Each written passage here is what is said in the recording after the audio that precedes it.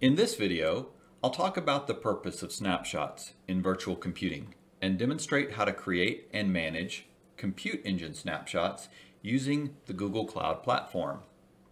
To begin, snapshots are a copy of a virtual computer's persistent storage, or disk drive.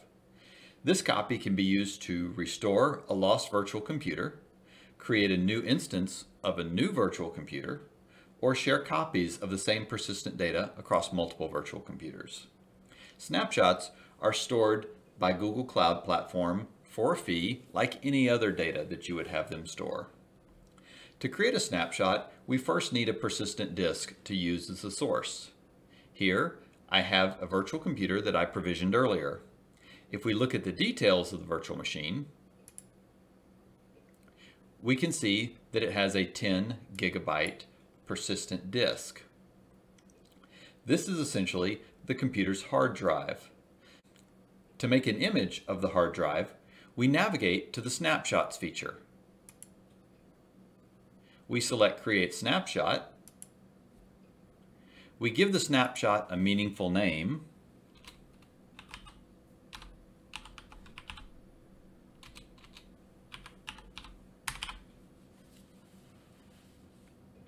We choose the source disk for the snapshot.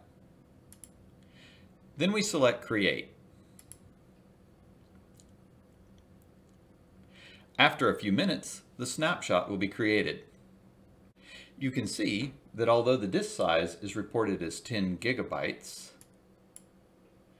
the snapshot is only a few hundred megabytes in size. This is because snapshots only contain the differences between the original image used to create the disk and what was on the disk at the time that you took the snapshot.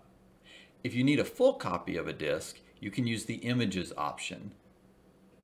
Now, let's take a look at how you would use a snapshot after creation.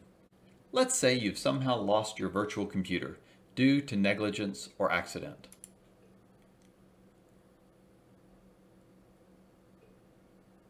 For example, if an employee of yours accidentally selects a virtual machine and then chooses delete.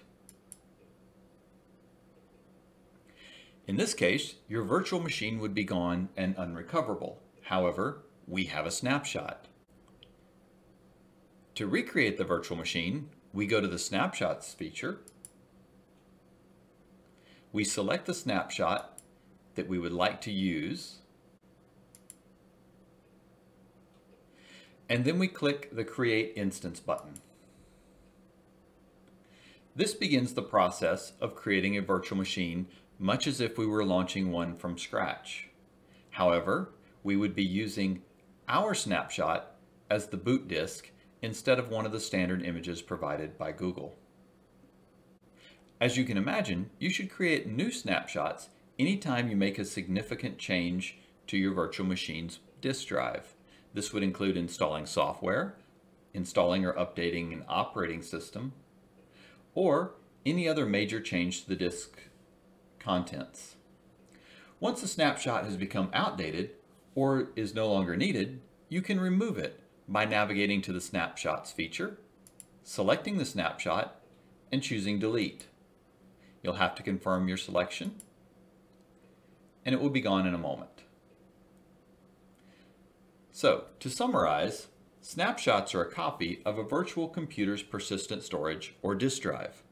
Snapshots can be used as a basis to launch a new virtual computer, and Google Cloud charges a fee for the storage of snapshots, so regular pruning of old snapshots is advised.